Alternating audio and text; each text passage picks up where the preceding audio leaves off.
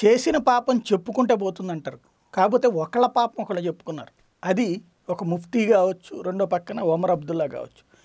ఇద్దరి తండ్రులు కాదు ఇద్దరి తాతల దగ్గర నుండి జరిగినటువంటి దారుణమైనటువంటి తప్పిదాలే భారతదేశానికి కాశ్మీరాన్ని అందని ద్రాక్ష పండుగ చేసినాయి. కానీ ఇప్పుడు ఆ ద్రాక్షని కాస్త యాపిల్గా మార్చుకున్నటువంటి వేళ తట్టుకోలేకపోతున్నటువంటి వ్యక్తులు భారతదేశం మీదకి విద్వేషాన్ని రెచ్చగొట్టేటువంటి ప్రయత్నం చేసిన పకడ్బందీ ప్రణాళికతో జరిగినటువంటి మార్పులతో ఏం చేయాలో అర్థం కాక గృహ నిర్బంధంలో కూర్చుని ఒకళ్ళనొకళ్ళు తిట్టుకుంటూ వాస్తవాలలో కొన్ని బయటపెట్టుకున్నారు ఎదురోళ్ళకి సంబంధించి.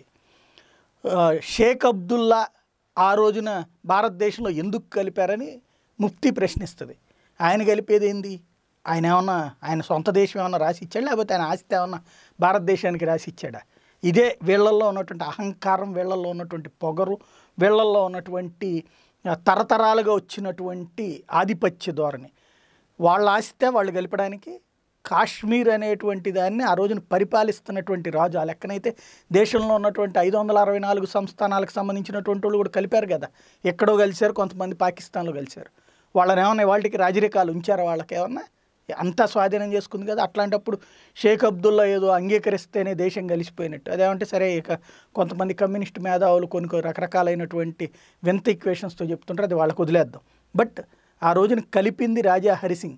కానీ ఆ కలపకుండా అడ్డుపడినటువంటి వాళ్ళల్లో షేక్ అబ్దుల్లా ఒకరు. ఆయన మొదట కలపడానికి ప్రయత్నం చేశారు ఇండియాలోకి.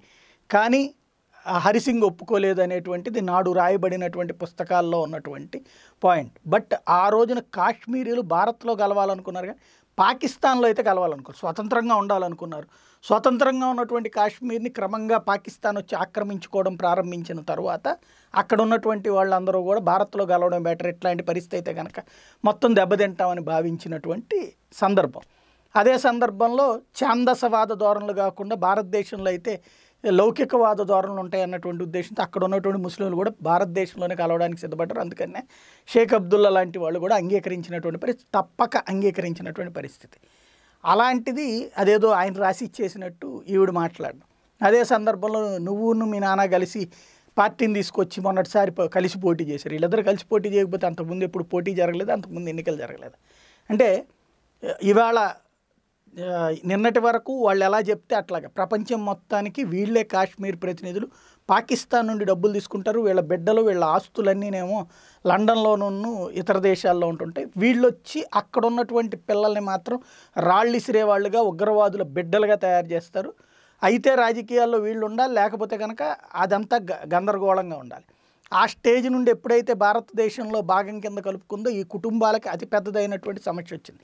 ఇంతవరకు దాన్ని అడ్డం పెట్టుకుని పాకిస్తాన్తో బేరమాడుతూ భారత్తో బేరమాడుతూ దర్జాగా బ్రతికేస్తూ ఉగ్రవాదుల్ని పక్కన పెట్టుకుని ముందుండి నడిపిస్తూ జరిగినటువంటి వ్యవహారాలకు ఫుల్ స్టాప్ పడుతున్నటువంటి వేళ జరుగుతున్నటువంటి తంతు నిజాలని నిగ్గు తేలుస్తూ ఒకళ్ళనొకళ్ళు తిట్టుకుంటూ అయినా ఈ ఇద్దరు కలిసినే దేశానికి అన్యాయం చేసినటువంటి వాళ్ళు అన్నటువంటిది మాత్రం బయటపడింది.